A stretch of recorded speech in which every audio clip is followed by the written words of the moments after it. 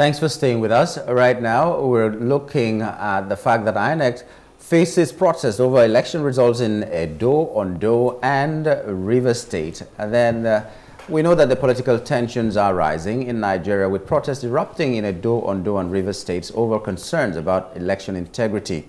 In Edo, People's Democratic Party, PDP supporters protested outside the INEC office demanding a reversal of election results they claimed were rigged. They called on INEC to ensure a fair process.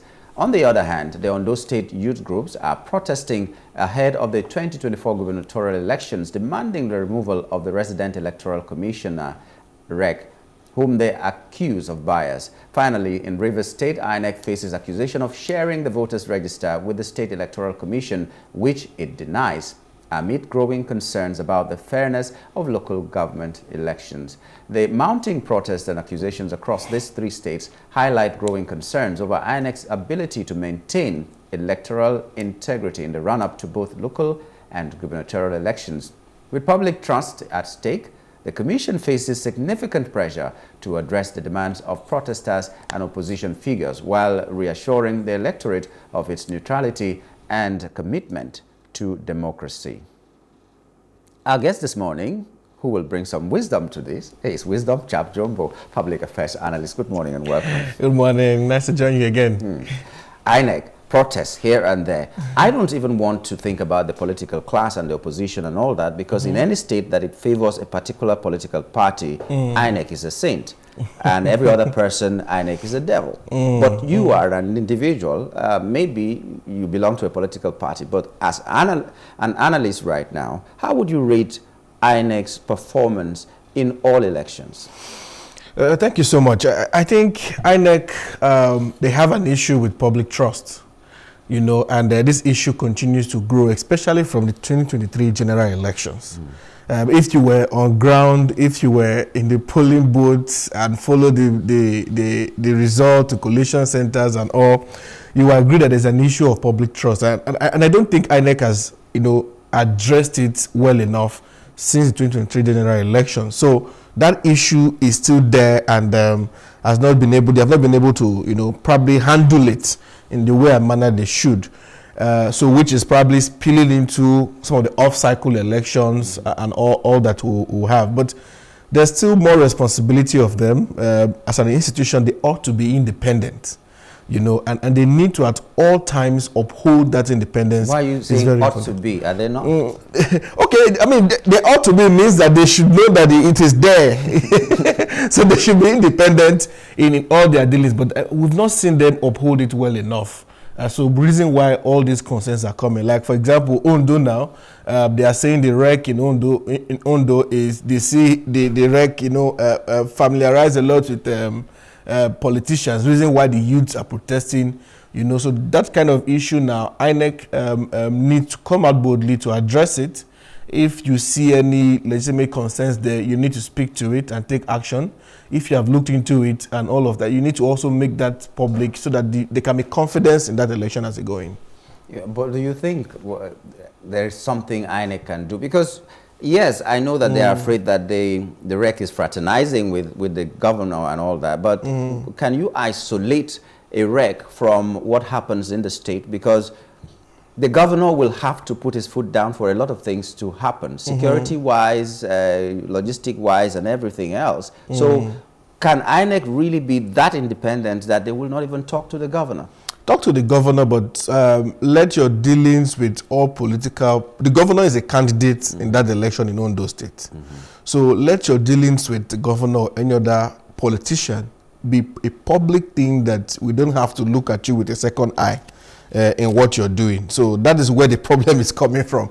Do it, but do it. Uh, I mean, there are guidelines INEC, you know, resident electoral commissions need to follow. Mm -hmm. There's a, there's a there's a way, a pattern, you know, by the law, you need to behave when there's an election around uh, uh, electoral officers, I mean, around candidates and all of that. Can you maintain that process? Most especially when you're dealing with the candidate. If the governor wasn't the candidate, maybe we can say, yes, maybe you're going to engage on some issues. The governor is the candidate. Whatever dealings you are doing with him, let it be in public eye so that everybody knows you are not picking sides in any way. I think that's the way they can start.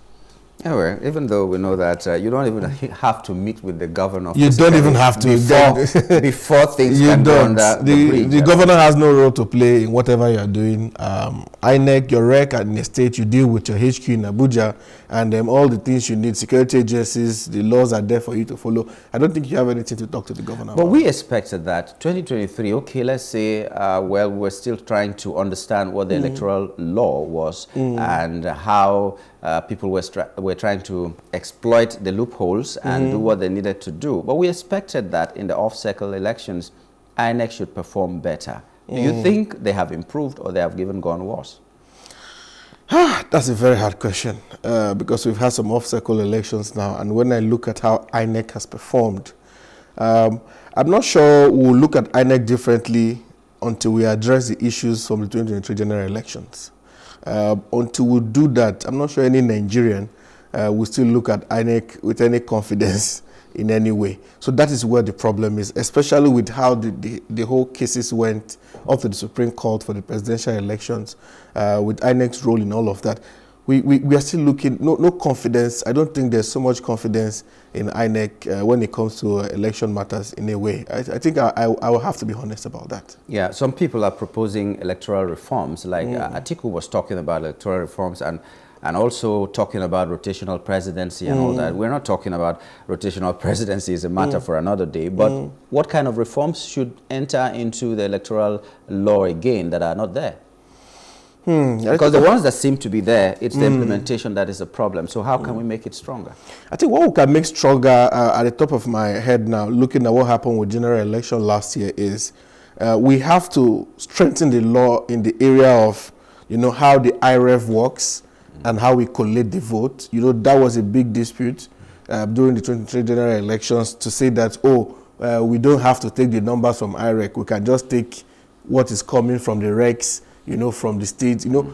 So that whole, how we are using technology to you know better the election that whole bit of it i think we still need some reforms around it to strengthen it mind you we achieved some success by the way from 2015 and 2019 elections with the 2023 election in the fact that we now see the numbers the actual numbers you know in some states that especially in the north that we used to hear oh there are there are 5 million voters there or 10 million voters there. You can see the actual numbers are coming now because the BVAS you know has helped us you know, to, to streamline that. But there are still But actual numbers, um, in Edo State, for instance, the mm. election just held, mm. and we've seen, at least on social media, we don't, I, mm. I wasn't there, but we've seen where uh, the number of people who voted exceeds the number of people who were accredited on So- that day. Yeah, so in that in that area now is where we need to strengthen the law and strengthen the consequences, you know, for people manipulating those, you know, result sheets. That's where we're having an issue. I think uh, at, at Turner Center for, for, for Governance or something, they had put out, you know, a detailed forensic report on some of the uh, election that are held after the general election, like Bayelsa, you know, an you and look at. So some of their recommendations there also will really be helpful uh, to the National Assembly in, in some of those uh, uh, reforms. Because look, they listen? Yes, I mean, I hope they listen because Be- because the main issue we see is you manipulate the result sheet. You know the, you see the numbers clearly. We can see they have been manipulated, and no consequences. You know, on those uh, uh, uh, what they call them from the polling units. You know, that sign on the result sheet. If there are consequences, Who will uh, carry out these consequences? Oh, that's why. That's where the law comes in. Yeah, Let- so let, let us strengthen the law. That's some of the reforms that we need to add. You know, to the uh, Electoral Act of 2022. Yeah, but the law says this, and you go to the court and they tell you technicalities and all Hmm. that. So who will be at the at the fore fighting this? Will it Hmm. be the judiciary, which everybody is thinking is compromised? Will Hmm. it be the uh, politicians themselves that these things favor? Will it be the police that are also compromised and all that? And who will fight it? See, we have had um, how many elections now? We know where the technicalities are.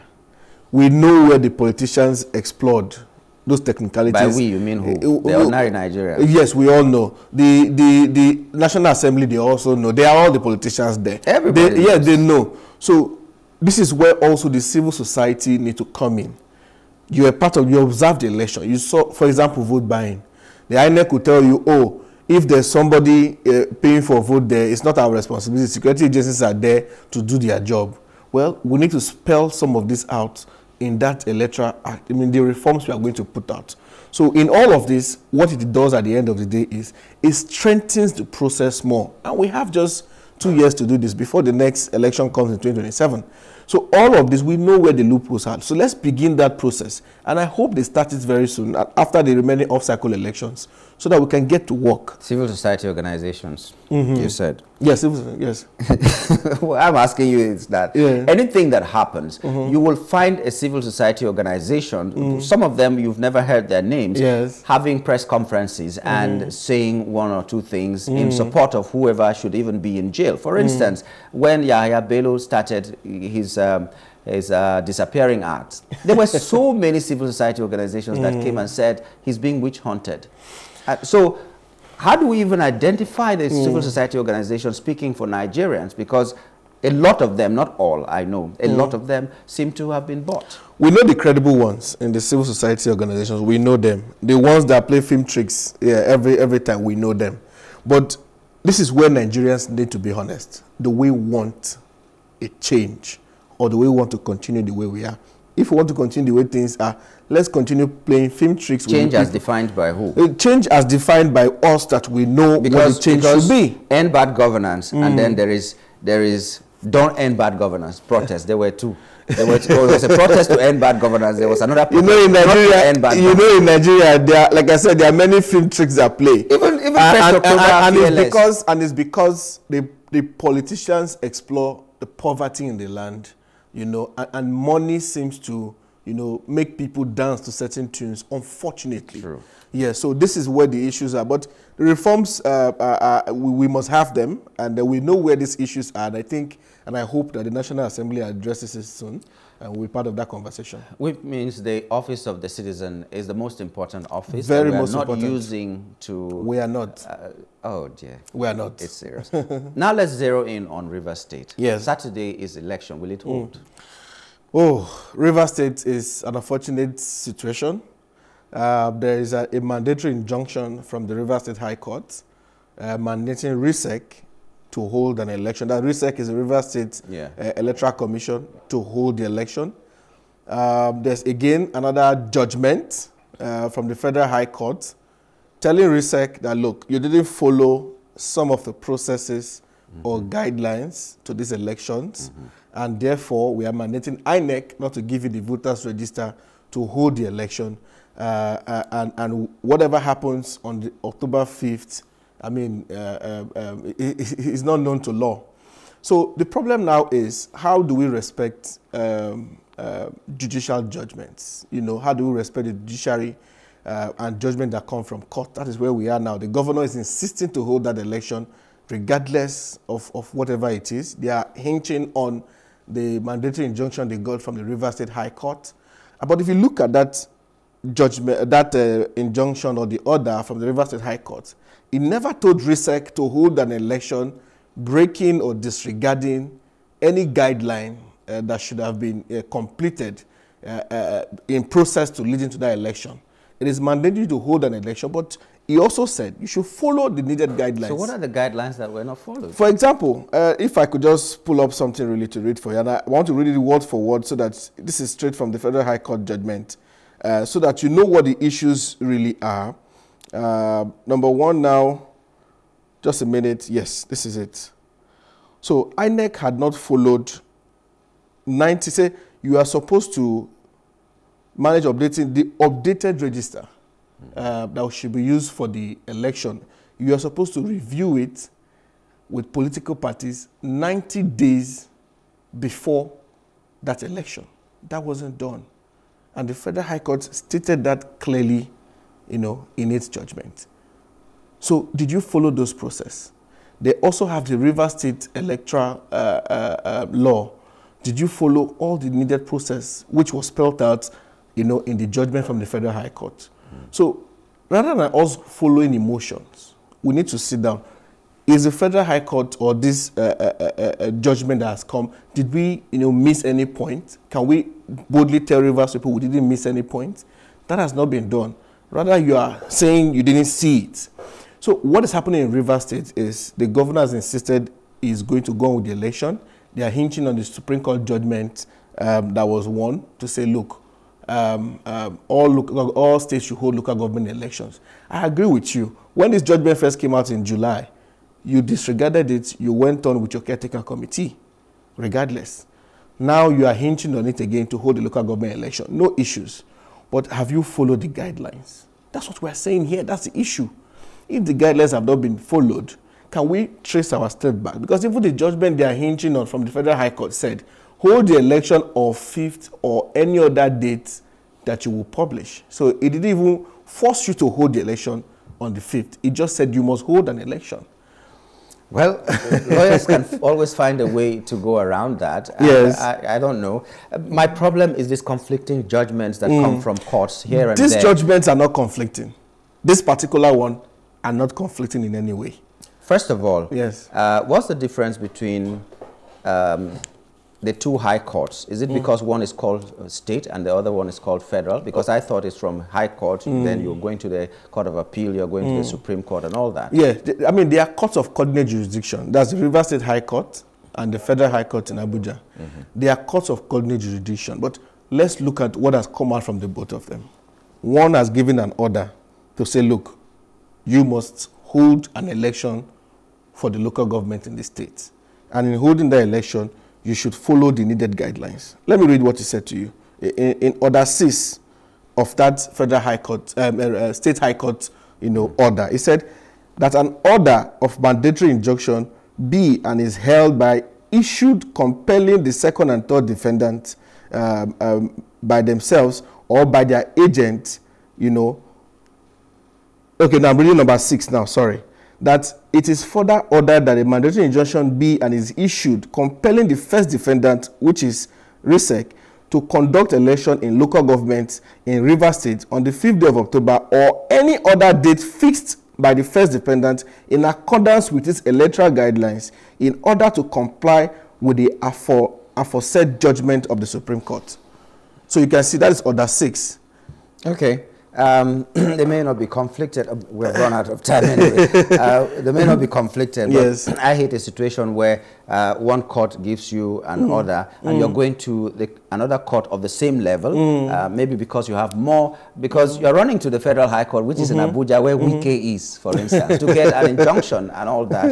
And what, that's the reason we're having all mm. this fight. But let's not make that. this about Wike, really you can approach any court of the land. Yes, and, and, just, and, and, just to say, the federal high court, you know, uh, uh, uh, uh, process was first initiated even before they won the River State High they Court. They should have got to, to the Court of Appeal or something. Yeah, so after that's you what, get, yes, after you get a judgment from the federal high court, if you don't like it, you can appeal it to the to the appeal court, and that's a higher court that can, you know.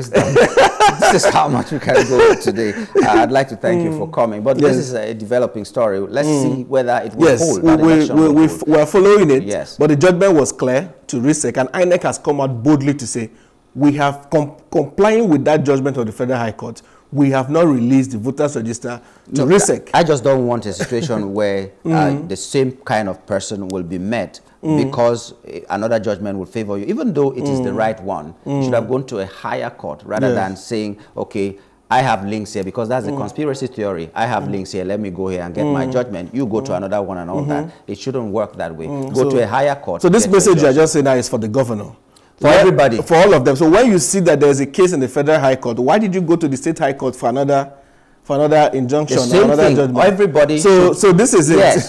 so whether it's the governor of the, mm. or the APC mm -hmm. or anything, mm. go to a higher court if you are not comfortable, or mm. let this one play out. Yes. Thank you so much. Thank Wisdom, you. Thank you so much. Program. We're, running, we're yes. run out of time. Yes. Uh, we've been talking with uh, Wisdom Chap Jumbo, a public affairs analyst, looking at the uh, at INEC and what is happening in the off-cycle elections. In fact, starting from 2023 elections, uh, we're going to take a very short break and return with our second guest. Stay with us.